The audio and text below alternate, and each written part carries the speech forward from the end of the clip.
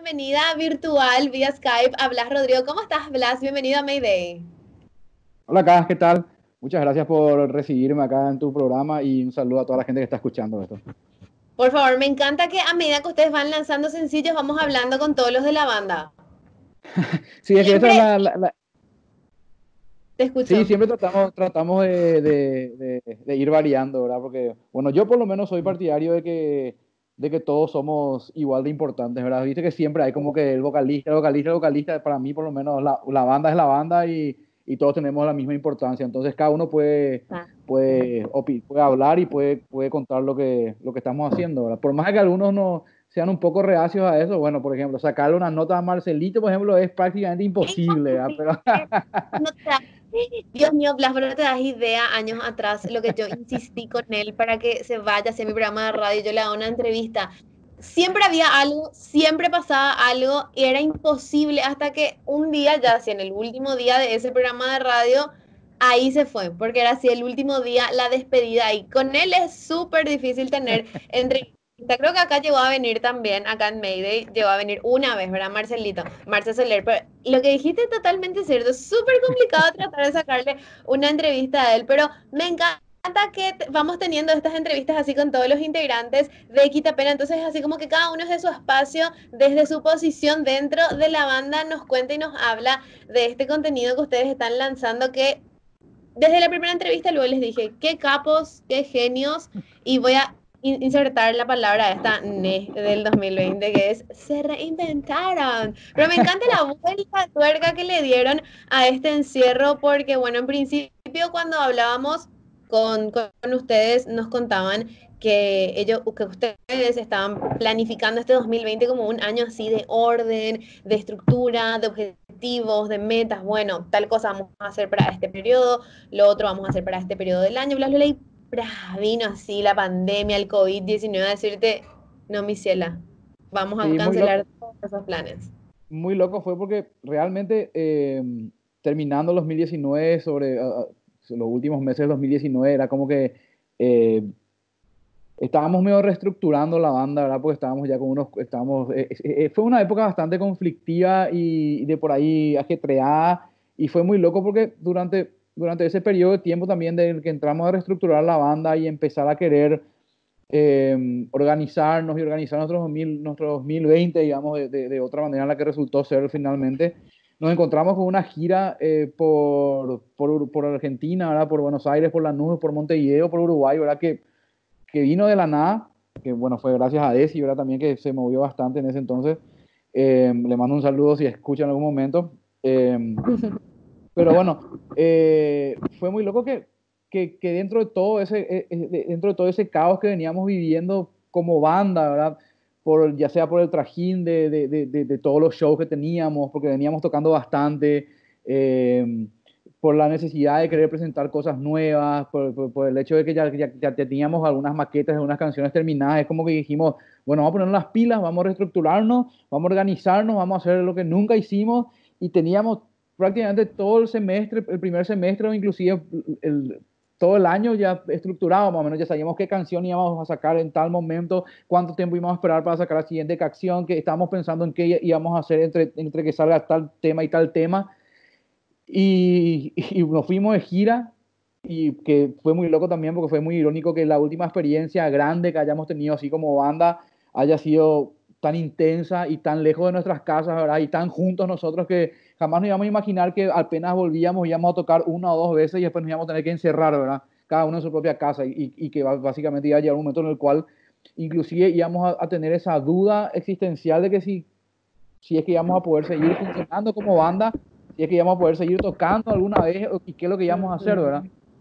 Y por suerte surgió, surgió solistas, ¿verdad? Por suerte, por suerte eh, hablando y, entre, los, entre los muchachos, o inclusive el silencio que se dio en un momento en el grupo de WhatsApp, como que, que nos hizo dar cuenta de que lo que nos empezamos a compartir eran cosas que por ahí no tenían mucho que ver con la banda, sino que como, como dice el, capítulo cero, como que con Quitapena familia, más que con Quitapena banda, porque era como que nos empezamos a, a, contar qué estábamos haciendo, nos empezamos a preocupar el uno por el otro, como que estaba pasando la cuarentena y nos empezamos a compartir videos.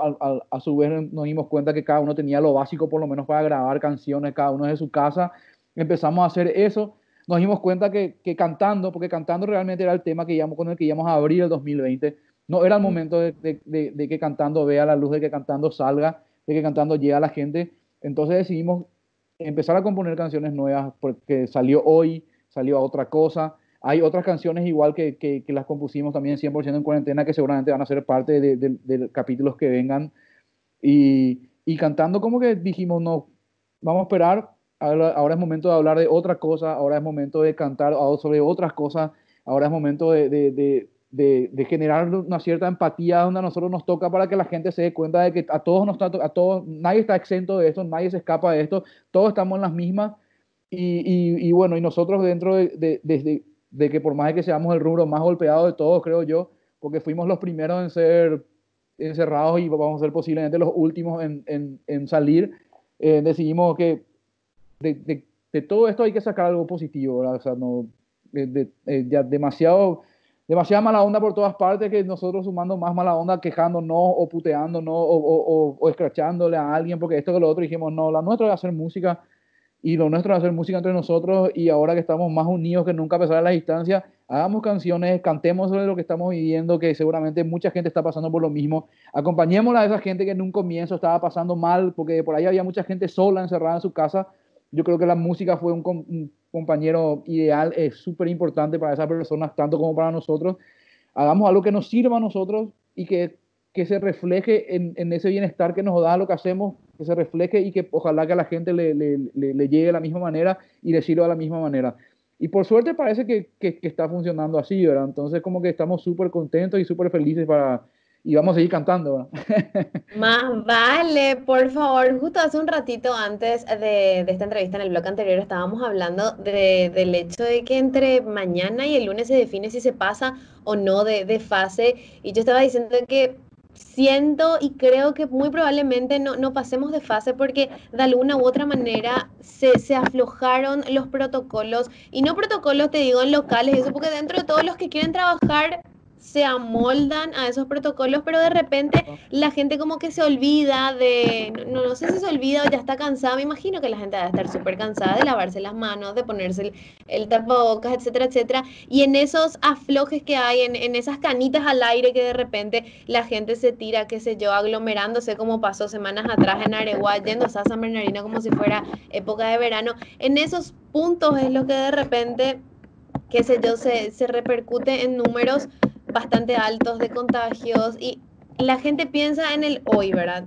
hoy estoy harta, hoy no me quiero lavar la mano, hoy no me quiero poner tapabocas, hoy quiero salir, quiero hacer algo. Es súper comprensible que la gente esté así con un nervio, con una ansiedad de quiero salir, quiero hacer mi vida de antes, pero eso en qué repercute? Repercute en que esta fase 4 cada vez parezca más lejana, cada vez parezca así imposible de alcanzar. Y también pasa que hay un miedo de que esa, esta gente, de que la gente en general piense que la fase 4 es, ok, ya está, volvimos a la normalidad. Y no, a la normalidad quién sabe en cuánto tiempo volvamos, así que que ustedes de igual manera sigan teniendo esa buena energía, esa buena onda y ese mood de vamos a seguir haciendo canciones, vamos a seguir cantando, vamos a hacer música, es demasiado genial. Y dentro de todo aprovecharon todas estas plataformas que hoy día, gracias a Dios, tenemos. Imagínate la pandemia en 1920. Olvídate, olvídate lo que habrá sido la pandemia esa, la gripe española 1920. Tenemos que muchas plataformas para poder de alguna u otra manera seguir estando, sintiéndonos cercanos a, a nuestros amigos, a nuestros familiares y ustedes como artistas le dieron pero todas las vueltas a los recursos y acá por ejemplo estamos hablando de este tercer sencillo, digo bien, que es Cantando. Al fin va a ver la luz y lo estrenaron justo después del Día de la Amistad, la semana pasada. Sí, así mismo. Eso fue, por ejemplo, una, una coincidencia muy, muy linda, digamos, porque no es que fue pensado en que salga eh, eh, ese día, pero cuando nos dimos cuenta de justo que ya el Día de la Amistad, es como que, que nos pareció que fue un plus y que, y que fue completamente coincidencia. Además, otra vez por lo que muestra el video de la canción, por lo que muestra el capítulo, que es un grupo de amigos, ¿verdad? Eh, disfrutando la última, eh, posiblemente una de las últimas, bueno, realmente fue la última experiencia que tuvimos como banda, como dije anteriormente, ¿verdad? Algo tan lindo que también fue gracias a mucha gente a mí, o sea, el hecho que podamos viajar allá o el hecho que podamos convertir lo que, lo que al comienzo era un solo show en Uruguay, ¿verdad? Convertirlo en una gira por Argentina y por, por, por Uruguay, ¿verdad? Fue gracias a, a, a gente amiga que tenemos tanto en Buenos Aires, fue gracias a, a Desi que, que, que, se contactó Con, con, con, no sé, con, con, el manager de Cuatro Pesos de Propina, estuvimos compartiendo con ellos una tarde allá de música y asado En, en, Uruguay, porque ellos, porque ellos tocaban en, en, el mismo festival que nosotros, ¿verdad? Y y nada, o sea, eh, eh, gracias a, Gonzalo, el chico López, a, que, que, a Chicho, ¿verdad? Que, que, que, fue nuestro amigo que nos alojó a nosotros en su casa en, en, la NUS, que nos consiguió show allá, que nos llevó a la radio, que nos chofereó, que nos dio de comer, que entonces como que, y nada, y ahora también solista es lo mismo, tenemos a Ana García que, está editando los capítulos, eh, y lo que yo digo que me gusta a mí, y lo voy a repetir, pues digo que es muy loco que en el momento en el que estemos tan encerrados y tan aislados uno de otro, eh, saquemos el material más internacional que, que, por ahí tenga en sí el ciclo, ¿verdad? Porque el video, el videoclip fue grabado en, en, en Montevideo, fue grabado en Uruguay, Montevideo y sus alrededores, porque cuando llegamos a Uruguay nos alquilamos unos autos, salimos a, recorrer, ¿verdad? Y a filmar. Estuvimos en un lugar que se llama Balneario Buenos Aires, en el hostel de unos amigos también, de Celso y Prilla, Odones, sus... Eh, estuvimos en, estuvimos por Montevideo, estuvimos recorrimos varias playas filmando ahí con Beco, ¿verdad? de Ternura Films, que es un amigo de Manuel, ¿verdad? Que, se encargó de editar y dirigir el video él solo, él hizo todo. Eh, la canción fue producida por Marcelo, por Matías Chávez, ¿verdad? por el Chávez, que, quien, con el que elaboramos el, último disco de Quita Pena también, y fue, fue masterizada en Inglaterra, ¿verdad? en un estudio que se llama Metropolis Mastering en Londres, o sea que... Eh, wow. sí, wow y nada, o sea, y, pero nosotros mientras todo, mientras pasaba todo eso, estábamos encerrados acá, cada uno en sus casas, ¿verdad? Pero, bueno, la música, la música tiene eso, eh, la tecnología, la, o sea, la música de por sí es, es, universal y no tiene barreras, porque yo me acuerdo que, de, bueno, acá en, Paraguay tenemos internet desde el 97, no es tampoco algo muy lejano, ¿verdad? Bueno, hoy en día ya son, ya son menos, bueno, son menos de 20 años, pero recién en el 97. Sí ahí van, o sea, la música, igual la música siempre llegó de alguna tal manera, O sea, que la música va a llegar. Siempre eh, se buscó la manera de que llegue, de alguna manera, siempre, siempre. Siempre había un personaje que era el personaje que traía los discos, el personaje que podía viajar, el personaje que tenía el contacto de el que o la que viajaba y traía las canciones. Así que qué gusto, en serio. Me encanta tener esta charla con, contigo, Blas. Y lo que quiero es que les invites a todos a, que puedan disfrutar de esta canción en las distintas plataformas donde sea que esté, que esté disponible la canción. Así que contanos todo. Dale, dale. Bueno, le invito a toda la gente, a todos, a todos los escuchas de Mayday, a toda la gente que está aprendida, urbana, a todas las personas que me puedan escuchar. Le invito a que, a que se prendan a nosotros, nos sigan en nuestras redes, estamos en Facebook como Quitapenita, estamos en Instagram como Quitapena guion bajo oficial PY, Quitapena guion bajo oficial PY, en Twitter y en YouTube como Quitapenita también. Y nada, este es el tercer capítulo de Solistas, nuestra manera de seguir comunicados y nuestra manera de seguir en contacto con ustedes a través de esta pandemia, a través de la cuarentena y a pesar de esta pandemia. Y nada, esto es cantando, ojalá les guste, ojalá lo hagan ustedes porque ahora ya lo es. Y que sea lo único que puedan contagiar durante todo este momento, la música.